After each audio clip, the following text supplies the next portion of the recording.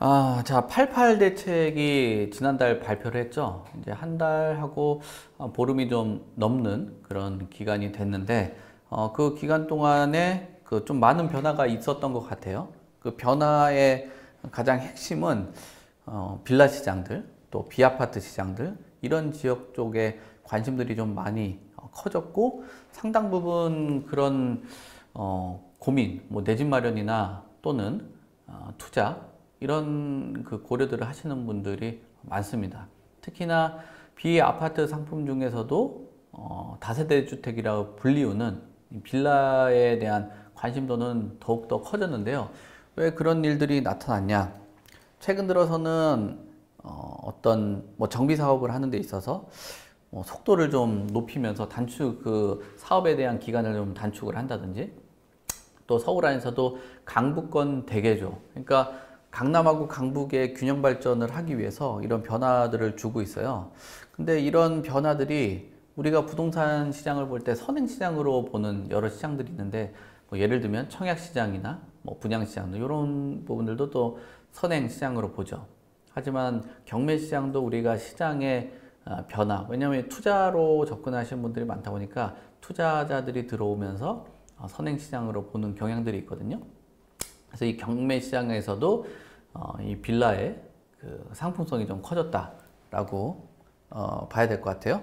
지금 표에 나오고 있는 요 그 부분도 보면 서울에 지금 상위 어, 경매에서 낙찰된 물건들인데 어, 낙찰 가율이라고 하면은 감정 가율을 기준으로 했을 때 감정 가액, 가액보다도 높게 어, 낙찰이 되는 그 금액입니다. 그러니까 감정가는 어, 지금 나와 있는 것처럼 2억 1,800만 원 정도의 감정을 했는데 중랑구 중화동 같은 경우는 지금 거래가 얼마나 되냐? 3억 아, 9,600만 원 정도 거래됐거든요. 약 4억 원 가까이 거래가 됐어요. 이 빌라라는 그 상품 자체가 예전만 해도 전세 사기나 아, 또는 뭐 이뭐 건축왕 관련된 그런 사기들 그리고 어, 갭 투자로 인해서 보증금을 돌려받지 못하는 그런 문제들 그런 문제들로 인해서 어, 빌라라는 상품 자체가 굉장히 인기가 없어졌는데 최근 정책적인 그 기조의 변화로 인해서 도시정비 사업에 대한 그 인허가 단축 그리고 88 부동산 대책을 통해서 어, 무주택자에 대한 그 면적이나 또는 어, 가격 이런 것들을 어, 비아파트에서 상향을 하다 보니까 인기들이 많은 거예요. 특히나 재개발들이 일어나는 곳들은 더 그런 일들이 어, 나오겠죠. 그래서 요 요 그 가격 자체가 2억 1,800 정도 했는데 낙찰가율이 182%로 감정이 된 것보다 훌쩍 넘어서 약 4억 가까이 되는 어, 가격으로 낙찰이 됐다. 지금 같은 기간에 보면 서울에 이 빌라라는 상품 자체가 아니라 아파트라는 그 상품의 낙찰가율이 뭐 132%로 나왔거든요. 그거 대비했을 때도 감정가 대비했을 때도 50% 정도가 어, 넘게 나오는 거예요. 그리고 이 빌라라는 상품이 인기가 없다라고 생각했는데 요 그 물건 하나에 지금 응찰자가 한 35명 정도가 몰렸다라고 하니까 이례적인 상황이죠. 음, 그리고 요 이제 중화동에 들어가 있는 물건이 왜 이렇게 높게 나타났냐라고 보니까 그 서울에서 지금 정비 사업을 하는 데 있어서 뭐 대규모 사업도 있겠지만 작은 규모의 사업들이 있거든요. 예, 서울에서는 모아타운이라는 사업을 하고 있는데 그 사업 안에 이 중화동이라는 매물이 어, 들어가 있는 거죠. 한 10만 제곱킬로미터 정도의 사이즈로 저층 주거지, 그러니까 저층 아파트가 되는데 요게 이제 들어가다 보니까 어, 가격이 높은 거죠. 상도동은 어떠냐? 상도동도 131%의 낙찰 가율을 어, 기록을 했어요. 그래서 3억 2,400만 원 정도 감정이 되는데 131%의 낙찰가를 기록하다 보니까 약 한 4억 2천만 원 정도 어, 되는 거죠. 그러니까 요 상도동에 있는 아파트도 어, 상당히 좀 인기가 있죠. 왜 또 여기는 이런 인기가 있냐면 상도동도 신속통합기획 주택 재개발 2차 후보지로 선정된 어, 15구역 안에 상도 15구역 안에 들어가 있는 물건이기 때문에 이런 그 결과가 나왔죠. 그러니까 서울시 안에서 개발하는 형태의 에, 그 빌라가 들어간다라는 건 시장에서 이런 높은 낙찰가율을 기록을 하고 높은 낙찰가율을 바탕으로 한 그런 빌라 상품 같은 경우는 어, 인기가 좀 있다. 라고 봐야 될 것 같습니다.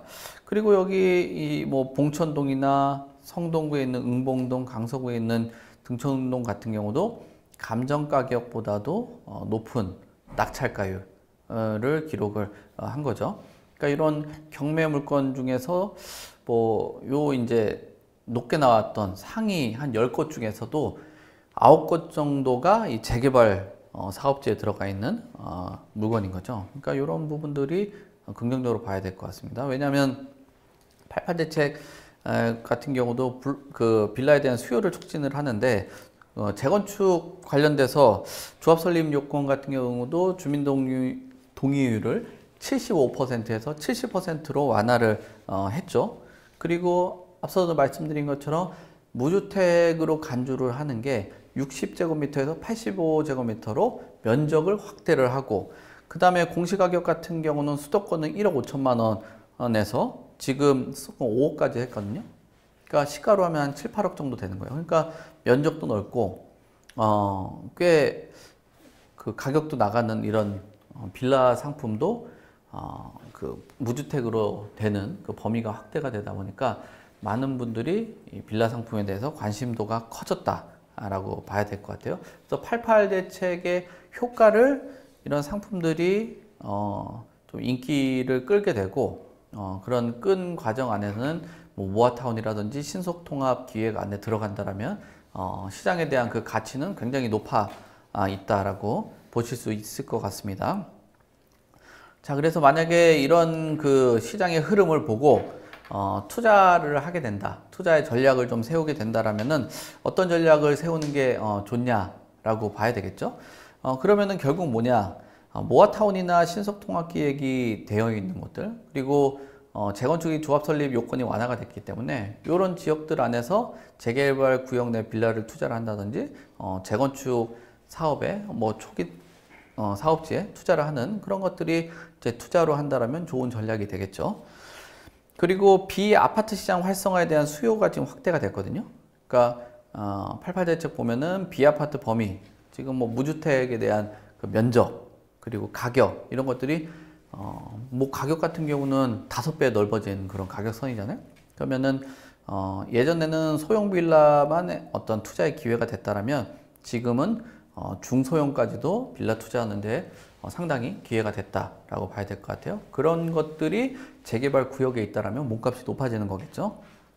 그리고 경매 투자에 대한 그 흐름을 한번 살펴보더라도 어, 낙찰가율이 150에서 한 180 정도 되는 재개발 가능성이 있는 곳들, 이런 지역들 분석을 해야 되겠죠. 이 내용 보면은 뭐 이런 지역들, 모아타운 신속통합 기획에 들어간 지역들이 되고 왜 이런 다수의 응찰자들이 들어갔냐라고 분석을 해보는 거죠. 그러면 이제 시장에 있는 그 뭐 감정가율이 이렇게 높아졌다라는 건 시세에 대한 흐름, 가격이 어, 어 어쩌면 저점 매수가 가능한 그런 상황이고 또 저렴하게 매수하려고 하는 분들이 이런 쪽으로 한다라는 거는 뭐그 비아파트를 저점 매수하려고 하시는 분들 그리고 재개발을 통해서 어, 수익을 좀 기대하시는 분들 이런 분들이 이런 지역들로 들어간 어, 경매 투자에 대한 그 전략들을 보고 판단을 하고 어, 접근을 하시면 될 것 같아요. 그리고 정부 정책에 대한 변화 이런 것들이 계속적으로 지금 변화가 되고 있고 빠르게 움직이고 있거든요. 뭐 시행령으로 통과되는 것들도 있고 법 개정이 될 수 있는 것들 또 약간 이거는 뭐 법 개정되는 건 좀 어려울 것 같다라고 판단되는 것들 뭐 그런 것들이 있기 때문에 이런 시장의 정책에 대한 그 변화를 대응을 할 필요가 있습니다. 그래서 지역별로도 어, 구체적으로 봐야 될 것 같아요. 재개발에 대한 가능성, 뭐 가능성만 가지고는 되는 게 아니거든요, 여러분. 어, 이 사업성을 기반으로 한 것도 중요하겠지만 거기에 주변 일대 분양 가격이나 또는 어, 주변 일대 어떤 뭐 이슈, 개발 호재 이런 것들이 있는 것들을 잘 보고 판단을 하셔야 되는 그런 상황이니까 이런 부분에 대해서 구체적인 내용들 어, 잘 보고 판단을 하실 필요가 있지 않나 어, 그렇게 볼 수 있을 것 같습니다. 좋은 차를 사기 전에도 이사를 가기 전에도 크게 다치기 전에도 항상 미리 대비를 해놓는데 부동산은 왜? 사전 점검 서비스는 부동산 매물을 사거나 짓거나 하기 전에 법률부터 부동산 정보까지 한 번에 미리 대비하는 서비스입니다. 영상에 나오는 연락처로 많은 신청 부탁드립니다. 또 다른 세상을 맞이하라. 낡은 정보를 지워라. 새로운 감각을 익혀라. 변화하는 미래에 맞서라. 편향된 시각을 버리고 얽혀있는 도시 속 독보적인 가치를 쟁취해라. 당신이 만드는 미래의 기회. 도시와 경제.